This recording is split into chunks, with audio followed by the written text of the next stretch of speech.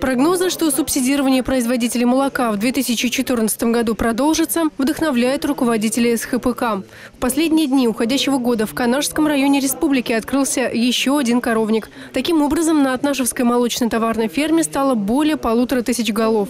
В эти же дни в Красноармейском районе распахнула свои двери и новая овцеводческая товарная ферма. Благодаря реализации приоритетного национального проекта развития АПК за последние семь лет построено и реконструировано 157 объектов объектов животноводства. Ежегодно, несмотря на все трудности, которые происходят у нас в сельском хозяйстве, вы знаете, что в этом году и засуха была, и очень тяжелая уборка, но есть такие руководители, которые грамотно ведут бизнес сельскохозяйственный и э, вкладывают деньги, получают результат.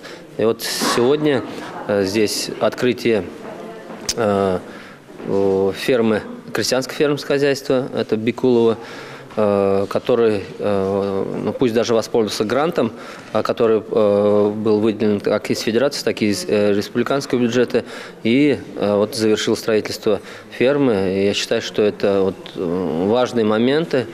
И в целом по Чувашской республике у нас семь фермеров таких – Гранты на развитие семейных животноводческих ферм получили 10 крестьянско-фермерских хозяйств.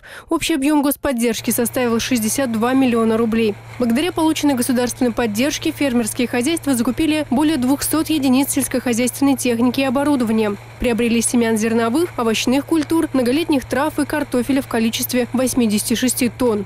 Сельскохозяйственные предприятия республики постепенно увеличивают обрабатываемые площади и выращивают непривычные для республики культуры. В этом году году было засеяно 3,5 тысячи гектаров горчицы, 2,5 тысячи кукурузы. Три региональные целевые программы АПК Чувашии, поддержка начинающих фермеров, развитие семейных животноводческих ферм и устойчивое развитие сельских территорий. В 2013 году прошли конкурсный отбор в Министерстве сельского хозяйства России.